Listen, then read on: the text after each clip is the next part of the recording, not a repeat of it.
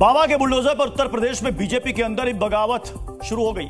अब तक आपने बुलडोजर के खिलाफ अखिलेश यादव, राहुल गांधी और असदुद्दीन अवैसी जैसे विपक्षी नेताओं को आवाज़ उठाते सुना होगा, लेकिन अब यूपी से बीजेपी के विधायक ने बुलडोजर के खिलाफ मोर्चा खोल दिया है। कानपुर से बीजेपी एमएलए सुरेंद्र मैथानी ने योगी राज में सरकारी इंजीनियर को धमकी दी है और कहा है कि बुलडोजर अगर आया तो घुसेड़ दूँगा।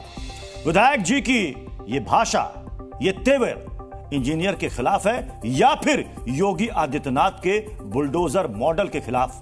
देखिए हमारी ये स्पेशल रिपोर्ट सुरेंद्र मैथानी बोल रहा हूँ। बुलडोजर आना नहीं चाहिए तुम्हारे यहाँ एक आदमी दिखना नहीं चाहिए। बुलडोजर और पूरा जो दिखेगा सबको इसी नहर में घुसड़ दूँगा।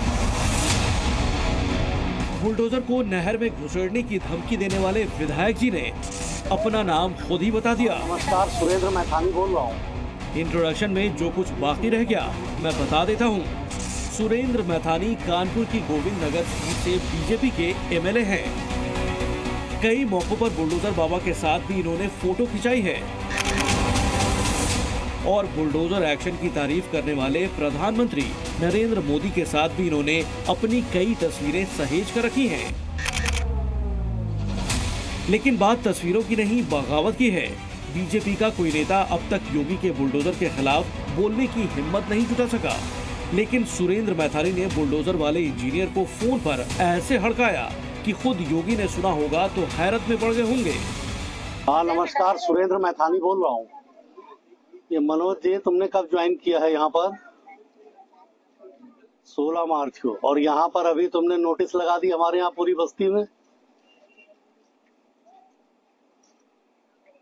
नहीं, क्या किया जाए? नहीं, मेरी बात समझ लो।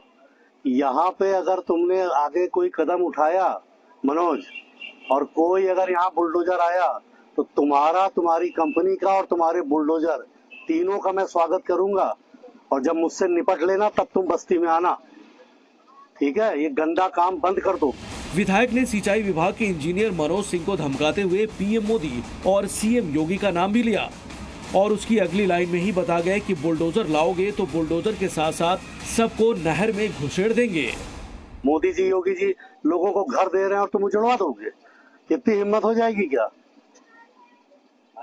बुलडोजर और सबको घुसड़वा दूँगा इसी नहर में।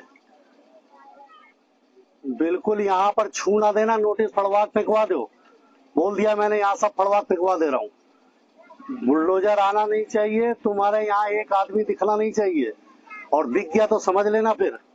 बुलडोजर और पूरा जो दिखेगा सबको इसी नहर में घुसड़ दूँगा। बिल्कुल साफ़ भाषा में समझ लेना, इसमें कोई मेरी फ़ोन आवाज़ टेप कर लो। मेरी आवाज़ को टेप कर लो। ये काम आएगी तुम्हें जिस समय तुम बुलडोजर लेके आओगे।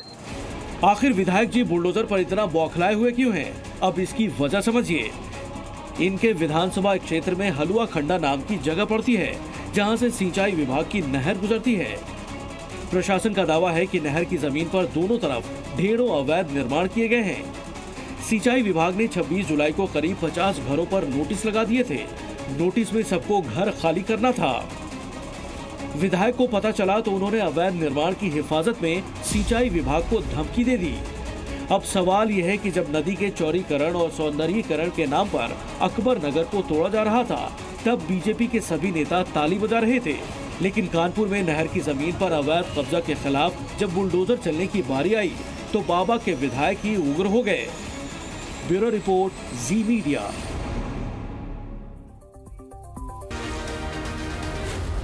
Zee News.